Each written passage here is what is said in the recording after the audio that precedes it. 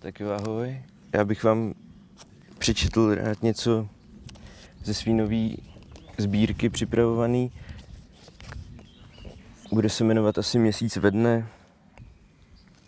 Nevím. Měsíc ve dne.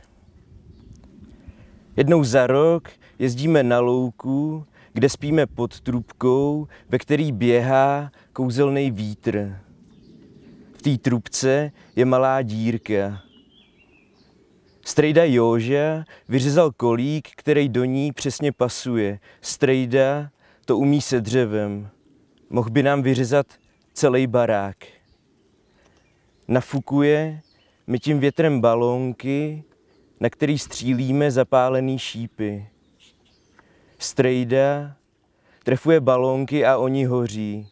Noc vypadá jako den a měsíc se topí mezi zlatými mraky.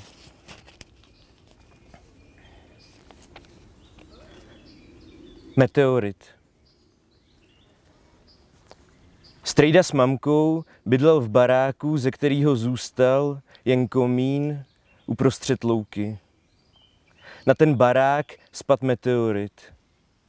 Strejda se snaží říct něco o mamce. Ukazuje, kde si hráli. Tady jsem se narodil. Myslím na ten meteorit.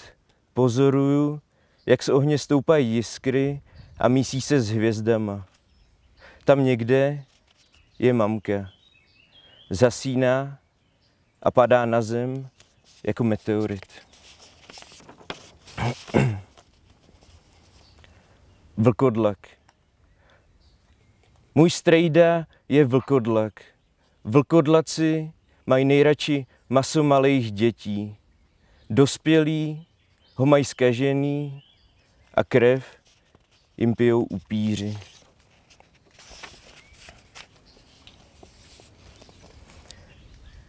Měsíční vandráci. Strejda říká, že jsme si zbyli sami, tak bychom se jako samotní lidé měli chovat. Strejda je můj nejlepší kamarád. Kejvám hlavou a říkám, že jsme na tu samotu dva.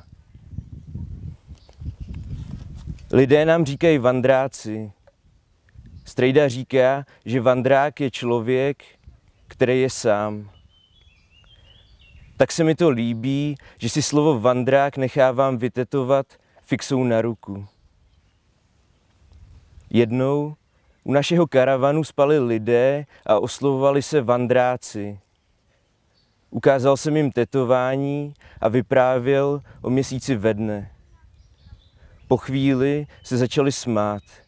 Šel jsem za strejdou a on mi dotetoval před slovo vandrák malý měsíc. Vytetoval si to samý a řekl, že odteď jsme úplně sami. Je mi dobře, když jsme sami. Jsme měsíční vandráci. Umíme zapálit nebe a jezdíme spolu po zemi.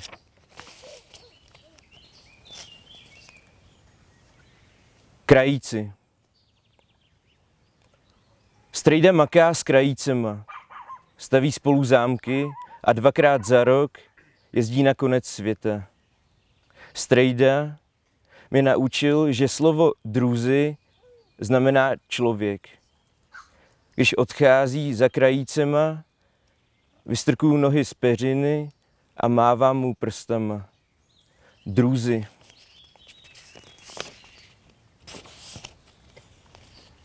Kubisko. Kubisko je kámoš, chodí v černým hábitu. Odlupuje z oken skla drápem na palci a vypráví o lidech, který zabil. Sedí u postele a ukazuje mi pokémony. Chytá je a vyrábí z nich hábity pro svý kamarády.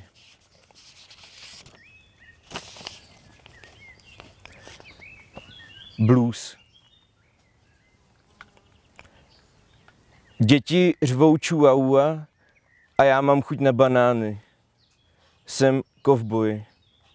Holky mi kradou klobouk a nechávají se honit. Na ulici kouří dospěláci. Jejich hlasy v kombinaci s hlukem zevnitř zní jako blues. Prší. Kdyby kovbojové žili u nás, nemuseli by si kupovat dešník.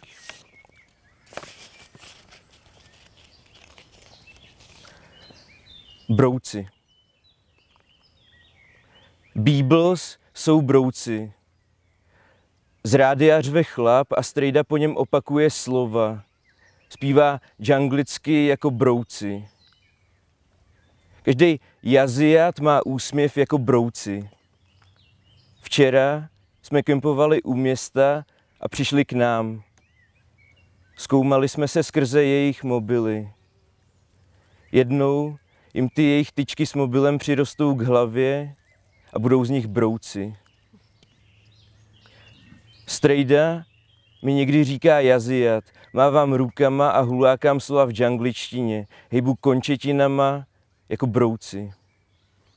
Někdy mi to nedá a zařvu na něj, že je taky jaziat.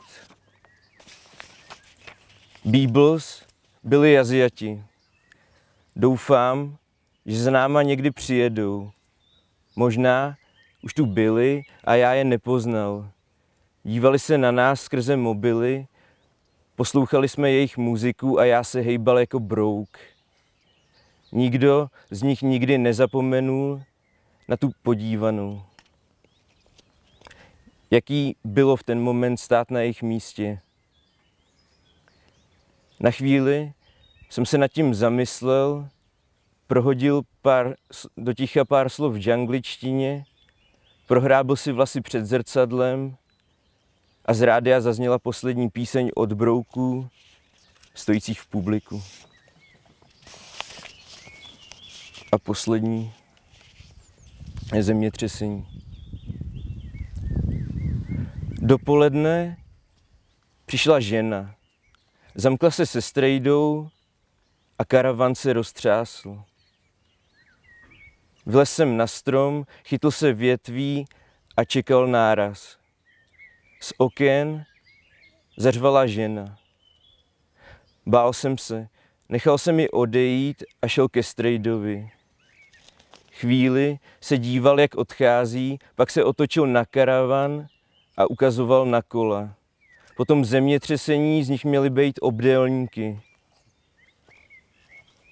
Takovýhle zemětřesení jsou dost nebezpečný. Kopu do kol a nechápu, s čím, si ta, s čím ta ženská měla problém. Určitě přišla ze zámku, který postavil strejda a karavan je pro ní moc malý. Dívám se na město, natahuju před sebe ruku a chytám zámky.